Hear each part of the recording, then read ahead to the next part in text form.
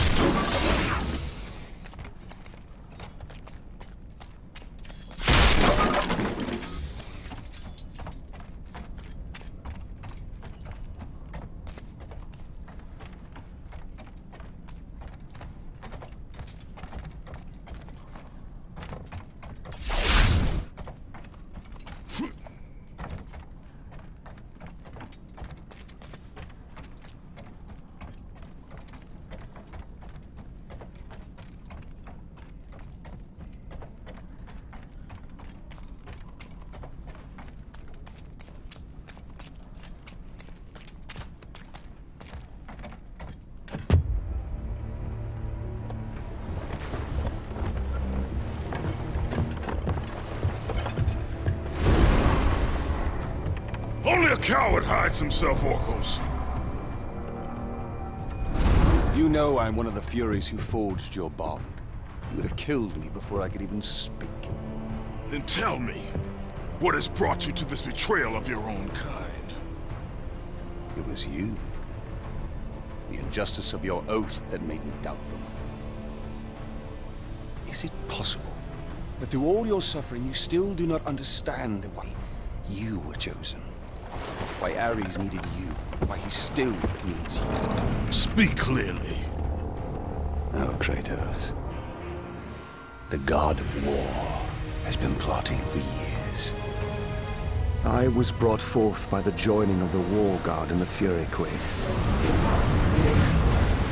In rage and insanity, Ares hoped to conceive the perfect warrior. But I was only a disappointment to him. It was my mothers who spared me. They gave me the task of keeping the oaths. Although my burden was great, I was determined to be of service to those who said they loved me. But it was you, Kratos.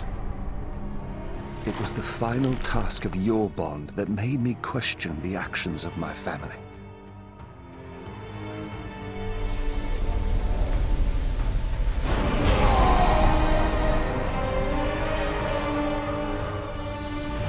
Sought counsel with Aletheia.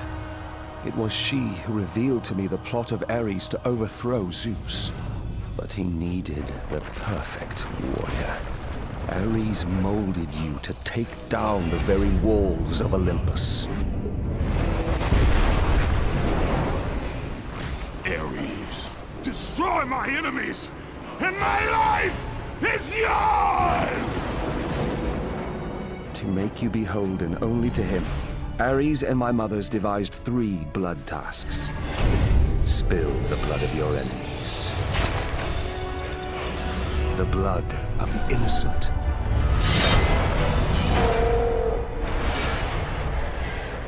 The blood of your very The past is the past, Orkos, past you now seek to rectify. and I will do so without the aid of a Fury.